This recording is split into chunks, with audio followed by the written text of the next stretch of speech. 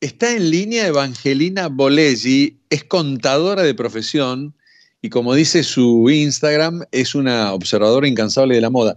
Hace un rato, hola Evangelina, estás ahí, estás en línea, soy Sí, Macu. ¿cómo, cómo estás, Macu? ¿Todo bien? Todo bien, todo bien. Vos sabés que hace un rato en la presentación dije que habíamos hecho un vivo. Ese vivo lo hicimos aprox hace dos años. En pandemia lo hicimos. Vos sabés que Claro, estaba- más, volvía de una tres años. Claro, volvía de una producción y, y, le de- y- yo estaba pensando, digo, ¿cuándo fue la entrevista con Macu? Digo, esto fue eh, en pandemia, estoy segura. Bueno, acá Qué estamos. otra genial. Bueno, tenemos que hacer una nueva, pero te, cuen- te cuento algo. Esto voy a empezar a hacer dentro de poquito, de poquito algunas, algunas charlas con gente que he visto que ha crecido un montón. Entre ellas vos. Por ejemplo, en aquel momento, yo no recuerdo, pero tenías, qué sé yo, 20, 30 mil seguidores, tenés 194 mil ahora. No, no, tan pocos para cuando vos me 50.000, dijiste, no, me eh, acuerdo cuántos eh, tenías. eh, tenía 80 mil, 80 Ah, mil. ah, ah, bueno, bueno, igual. Igual yo en pandemia crecí un montón, un montón, a un montón de... Pará, a- 80 mil tenés 100, casi 200 mil tenés ahora. Sí, sí, ay, roguemos que llegue. ¿Y cuál es? Contale, contame un poquito tu historia que, la, que conozca la gente, porque me interesa eso de la contadora que de pronto irrumpe en, en- en Instagram. Ay, mira, te digo que encima hoy soy la mujer más feliz haciendo lo que me gusta. No, ¿qué pasó? Obviamente uno cuando es chico estudia, qué sé yo, lo- en nuestra época eran estas carreras que eran las carreras tipo, ¿no? Claro. Y bueno, yo había, Sí, había medicina, salido de abogacía, Exacto, contador. había salido de perito mercantil y me metí en contador, eh, toda la vida trabajando en estudios contables, después en empresas, viste, como gerente de administración. ¿De dónde? finanzas. ¿Sos de Buenos Aires vos? Yo soy, yo soy de Buenos Aires, sí, soy de Buenos Aires. Y, ¿Qué empresas, bueno, por ejemplo, trabajaste? Y trabajé en KPMG, trabajé en Vans, viste las zapatillas. Sí, qué bueno, claro. Sí. Vos sabés que, perdón, vos sabés que uno de mis hijos tiene la empresa Undefined, es uno de los creadores de Undefined, ¿viste la, Sí, la empresa de los chicos de buzos?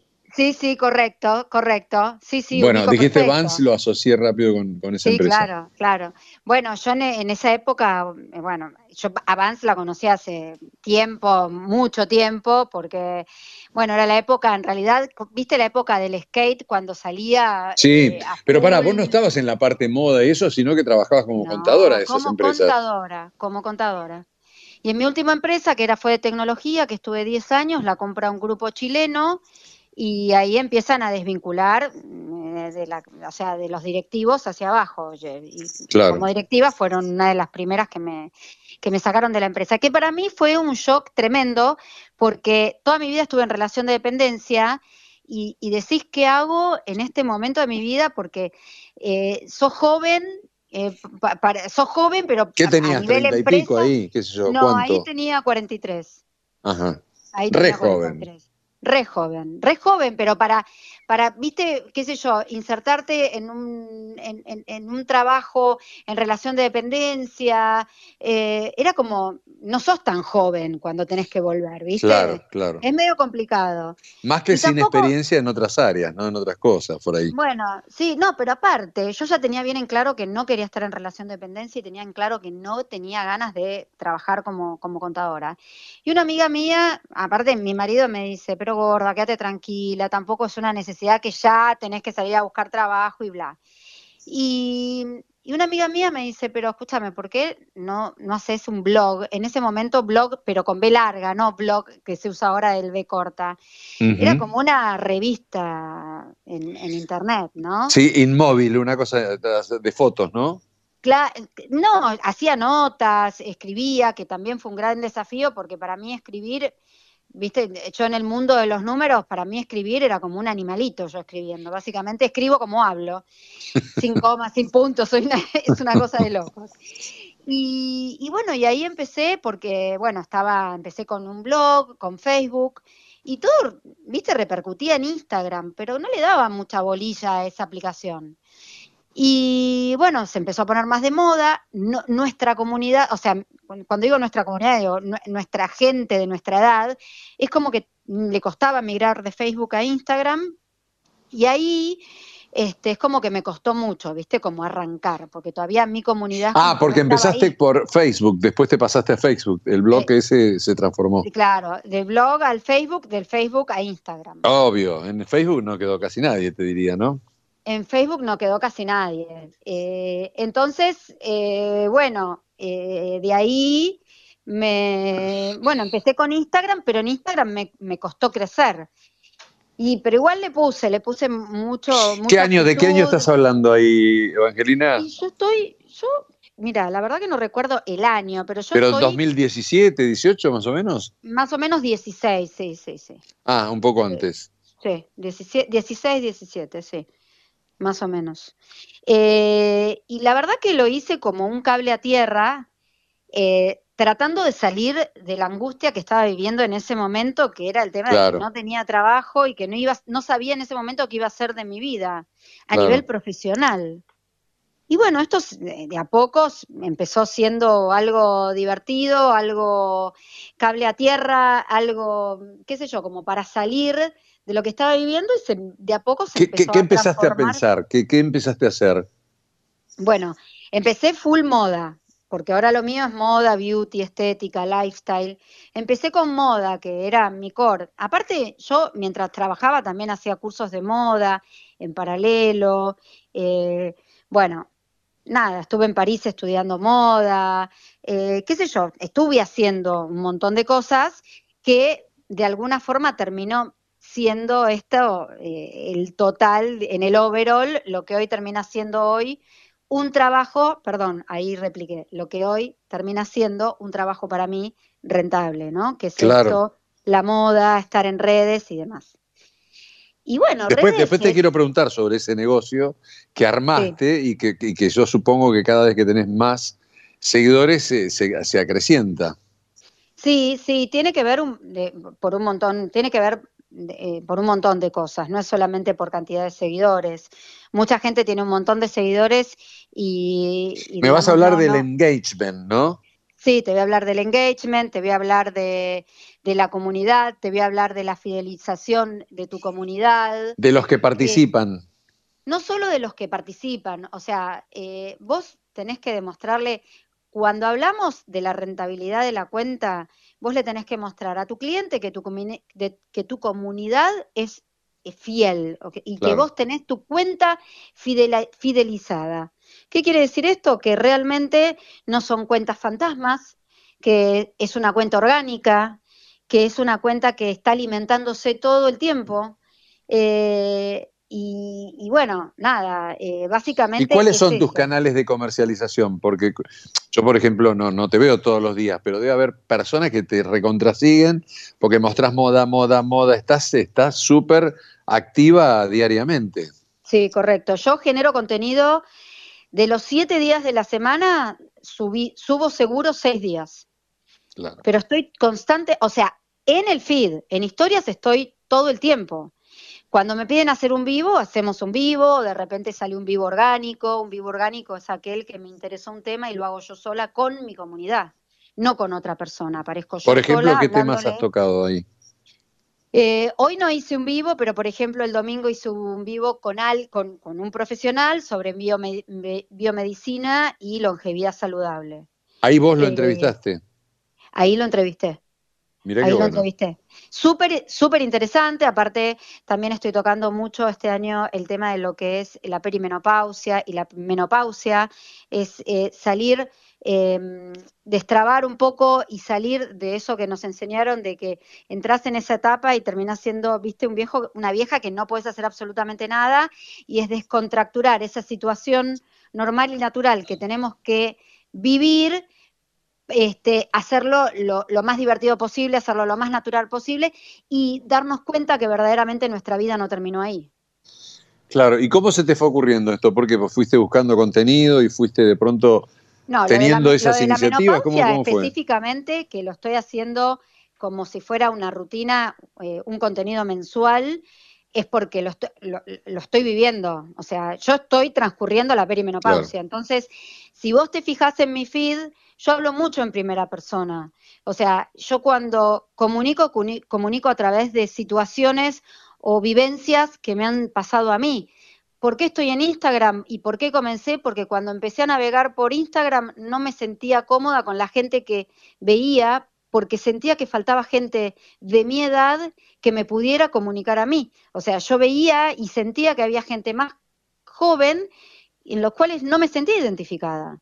Por eso dije, bueno, si esto me pasa a mí, seguramente le pasan un montón de mujeres, entonces yo quiero comunicar eso. Claro. ¿Entendés? Entonces, básicamente es eh, eh, mi, mi, feed es eh, Evangelina en primera persona. Claro. Y ahí, ahí tenés a tu hija también, muchas veces la mostrás, ¿no?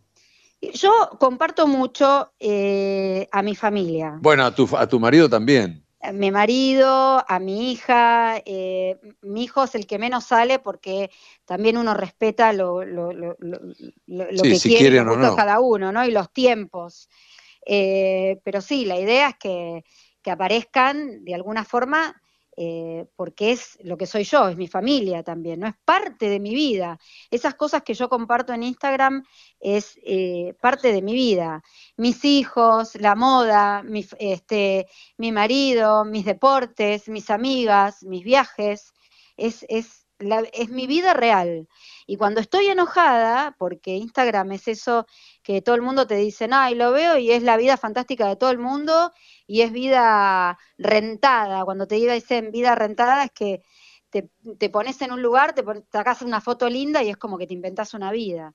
Y cuando yo estoy enojada, cuando me pasan cosas y demás también digo, estoy enojada porque me pasó esto, y sorry, no, no voy a postear porque estoy rebajón, eh, no la estoy pasando bien.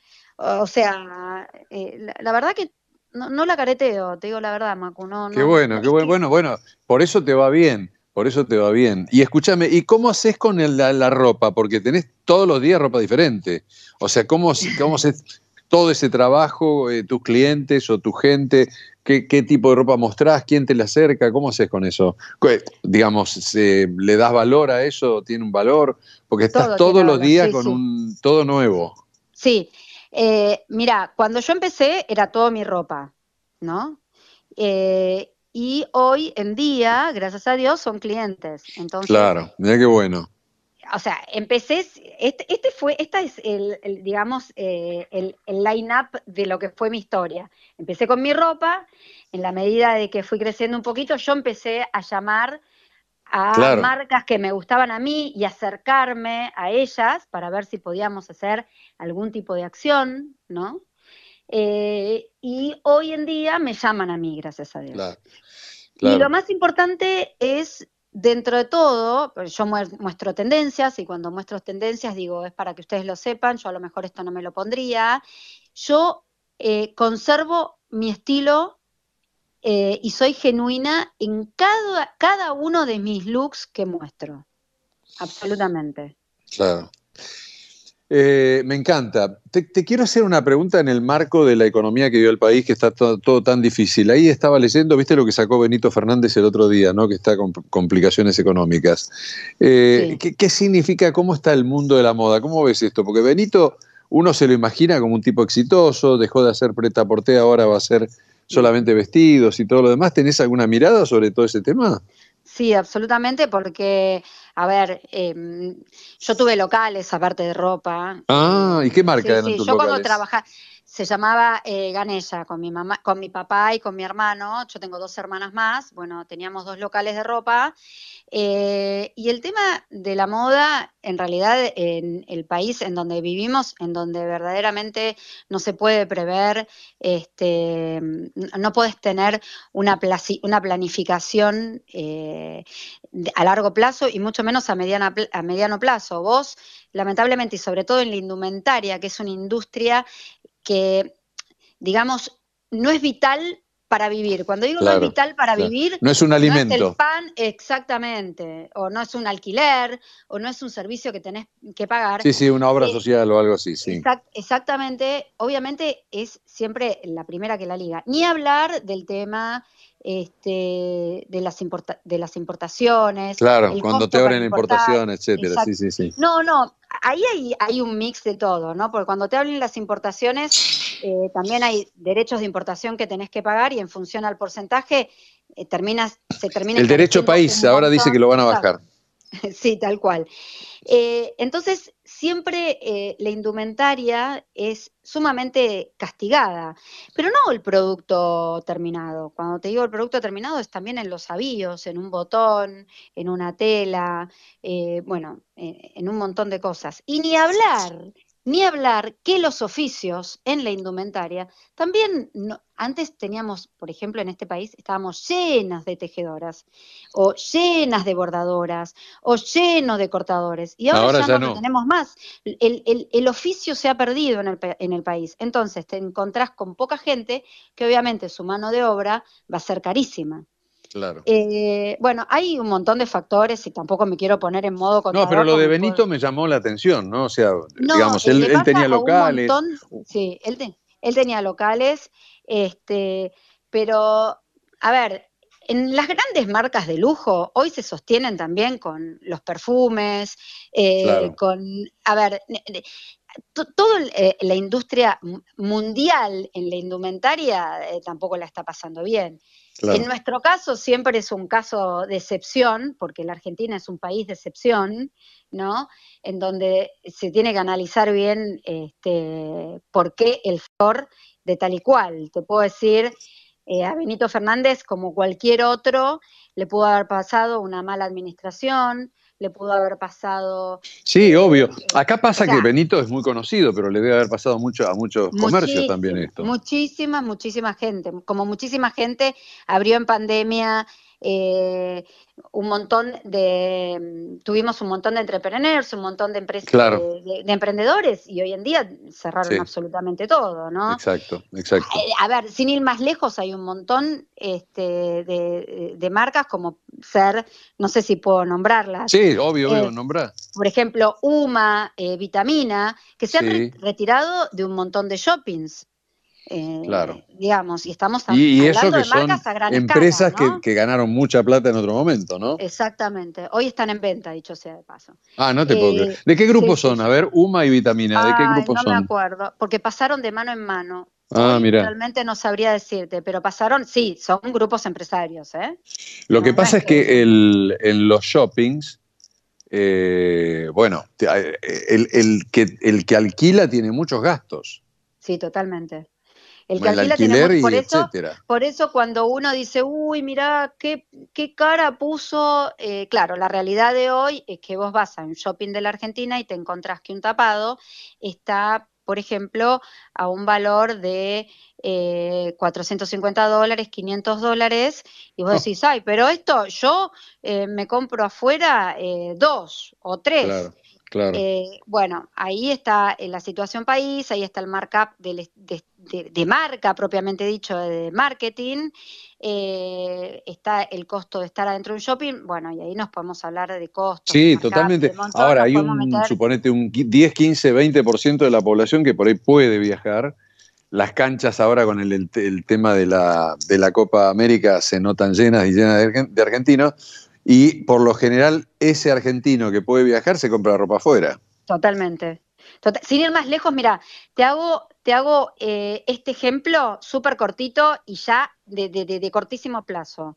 Mes de mayo, mes de junio, Chile la rompió. Viajaron la cantidad de argentinos que viajaron a Chile para comprar. El dólar eh, estaba en ese momento a 900 mil, mil pesos, que no era caro y Chile tenía unos precios, porque imagínate, eh, Chile no tiene una producción interna y mucho menos de indumentaria, por lo tanto, al importar eh, la mercadería no tiene derechos de importación altos, con lo cual he encontrado algunas cosas más económicas que, en Estados Unidos, te soy sincera. Ah, mirá. Eh, o, sea que, o sea que estaba bueno ir a, ir a Chile a comprar, como algún momento vinieron los uruguayos para acá. exactamente, exactamente. Hoy con el dólar a 1440 tendríamos que ver, eh, no, porque esto es minuto a minuto, o sea, es como sí, el totalmente, cortoplacista, ¿entendés?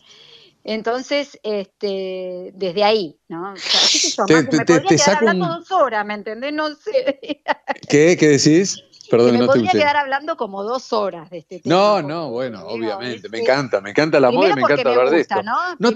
qué raro que no te metiste en el mundo de la decoración. Vos sabés que no soy buena para, o sea. ¿En serio? no te creo. Lo que, lo que me gusta hacer en, en, indumentaria y de repente tener cuatro cosas y armarte un lucaso, de repente no me sale Mirá. yo, lo, yo, lo, veo como medio tomado de la mano, pero se, se ve que por ahí no. No, conozco mis limitaciones y siempre contrato a alguien para decorar casa. Sí, cuando quiero. No, no, no, uno tiene que conocer las limitaciones para que ir más allá. Obvio, obvio. Bueno, tírame tu top 10 o 5, si querés, de las, de las casas lindas de, de vestimenta de mujer. ¿Acá en la Argentina? Sí. Mira, yo te estoy sincera. Si querés agregar de afuera, obviamente. No, no, te voy a agregar de Argentina. Eh, vamos a hablar de Argentina, no vamos a hablar de afuera. Eh, yo me estoy manejando mucho con marcas de showroom y muchas veces uno eh, menosprecia porque está acostumbrado. Pará, le llamás showroom a las que no están a la calle. Exacto, a la que no están en la calle. Eh, qué sé yo, eh, Liarte, te estoy diciendo marcas que ni vas a conocer y que tienen una calidad, pero impresionante. Eh, te puedo decir Liarte de Paula Liarte, Boyan, em, Paris by Flor Monis, este, quien hace tejidos divinos también, em, Caro Sosa qué sé yo, hay, hay emprendedores también que tienen una calidad, te traen un producto terminado, divinos, como también los hay que te traen cualquier cosa. Sí, totalmente. Eh, yo te digo honestamente. Pero ¿por, qué son los showrooms? para no pagar el. Bueno, igual el alquiler lo pagan, o sea, porque, digamos, tienen que estar en algún lugar, a no ser que sea una casa y eso. Pero... Nerata, que también Nerata me encanta. Pero eh, te digo el tema. ¿Cuál, cuál, cuál dijiste? Nerata, Nerata es una casa también de, cosas eh, maravillosas, divinas, divinas. Mira, em, ¿por qué? Primero que eh, los showrooms siempre estuvieron, pero en pandemia es donde también hubo un gran boom, ¿no? Porque Avenida no se podía caminar, entonces, este, qué sé yo, Avenida Santa Fe, Florida. Partiendo de la base, los locales a la calle son mucho más caros. Si te querés posicionar en un lugar en donde vos tenés un tránsito, como para decir acá la rompo, tenés que pagar fortuna. Eh, el showroom es barato, no tenés que pagar impuestos ni de marquesina, ni de esto, ni del alquiler. Hay un montón, un montón de gastos asociados a tener un alquiler a la calle, no es solamente el alquiler. Em, y bueno. Eh, Mira, justo lo tengo a uno, de, bueno, al hijo mío de buscando un local en, Palermo, y me, me ha hecho estos comentarios que me haces vos. Sí, sí, sí, o sea, eh, tenés que, bueno, por supuesto que tenés que tener todo lo de la FIP en regla. Claro. Eh, Eso desde ya, sí, por supuesto. Absolutamente. Tenés que tener los permisos de, este, bueno, la, cantidad de... Ahí está, ahí, ahí, ahí, enganchamos la contadora, ahí nos, das un baile espectacular, ahí volviste. No, claro. Volviste a los lo que Pasa que no solo eso, sino que eh, te digo, en ese momento, cuando tuve los locales, los que más nos volvían locos eran los del Ministerio de Trabajo. Pasaban constantemente, este, en realidad pasaban, te soy sincera, buscar Como los de Sadaic son. Claro, claro. Nos volvían, nos volvían locos. Nosotros teníamos todo en blanco y, viste, en ese momento estaba eh, el libro, eh, porque teníamos un montón de empleadas eh, el libro 2744, en donde pasaban y te buscaban y hacían, y te buscaban siempre la vuelta y irte plata, básicamente. Pero eso te hablo de un montón. Pero no, la verdad que el showroom también es atendido por sus dueños. Claro, claro, sí, es más. Es una diferenciación. Eh, porque el dueño quiere vender su producto que ama y que tanto le costó. Claro, totalmente, totalmente. Es más, te iba a decir eso, es más doméstico, más, más, más entre casa. Aunque profesional en la producción por ahí, pero por ahí lo vendés más como, como si fuera en tu casa o en el living. Exactamente, exactamente. Bueno, en, la enología, a mí me gusta mucho el vino, están muchos, están saliendo muchos los vinos de garage también, ¿viste? Que son vinos que se hacen en casa. Sí, sí, sí, sí. Así que bueno, bueno, Evangelina, escúchame. el valor, el valor que le pone hoy uno a que una persona verdaderamente te atienda, te mire, no te quiera vender por vender y querer la comisión, es un es es es una gran, es un diferencial, es, un valor, ¿entendés? Porque vos vas a un local de shopping y te atiende una, una chica que es vendedora, que necesita o no necesite, bueno, necesita el trabajo, claramente, porque está trabajando y, y te mira, viste, cuando te, ¿cuánto sale? Tanto. Y, viste, te mira como menospreciándote, no te da bolilla. Claro. ¿no? Y porque no son de ellos los negocios. La mayoría de, las de los empleados se trabaja así, como dijiste vos, a desgano. A desgano. Eh, así que bueno, nada. bueno, Evangelina, escucha, me encantó hablar con vos. ¿Cómo hace la gente para verte? Y bueno, y mírenla que se tiene unos lucazos espectaculares. Bueno, muchas gracias. Me pueden encontrar en Instagram en arroba evangelina con B corta Bolegui, que en realidad es Bolegui, como vos lo pronunciaste. Bolegui, sí, yo lo pronuncié así. Lo pronunciaste perfecto, es B larga O, L, E, G, G y latina. Evangelina Bolegui. Así que me pueden, no los voy a defraudar. ¿Cocinás también? ¿Sos, sos de llegar después de esas producciones y ponerte a cocinar? Sí. Bueno, ahora tengo para hacer este pastel de papa, pero el que cocina Uy, en mi casa es mi marido. Ayer hice unas lentejas increíbles. Ah, ves, sabes, este, sabes. Tenés pinta de que sabes cocinar, ¿eh? Sí, sé cocinar porque soy Tana, o sea, sé cocinar. Claro, claro. Me preguntaron. Para, y sos amiga de Miguel, que es amigo mío, que un día me llamaron, estaban en allá cerca de Pinamar. ¿Qué, Miguel Cristino? Bueno, sí. se puede decir el apellido. claro. Obvio, obvio, ahora justo, eh, bueno, de toda la vida, nosotros, eh, ah, no sabía, la no sabía. mujer es íntima amiga mía, nosotros nos Ah, porque un día me llamaron, estaban ahí en, eh, cerca al lado de, de, ¿cómo es? al lado de Pinamar. Villa Robles, sí, de Villa sí, Robles. En Villa Robles, sí, sí. Este, de Migue, de Marian, bueno, vos también la conoces a Vero. Sí, sí. Eh, ¿Qué te iba a decir? Y sí, sí, sí, de hecho estamos, nos vamos ahora de viaje juntos, Ah, somos, Mariana es como mi hermana, somos, nos conocemos de los cinco, dos años. Sí, sí, sí, me imaginé, me contaron ese día.